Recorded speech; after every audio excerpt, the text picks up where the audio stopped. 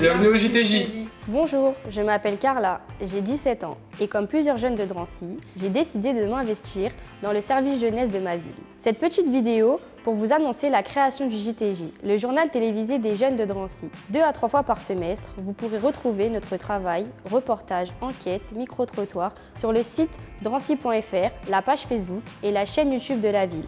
Le JTJ, le journal TV des jeunes. C'est une équipe d'une quinzaine de jeunes drancéennes et drancéens motivés et dynamiques. Ils réalisent le JTJ en se formant avec du matériel audiovisuel, caméra, micro, bande montage vidéo.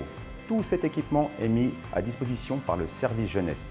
Pour les jeunes qui veulent imaginer, créer et réaliser leurs idées, si vous êtes intéressé par le projet du JTJ, n'hésitez pas à nous rejoindre en nous contactant avec les liens ci-dessous.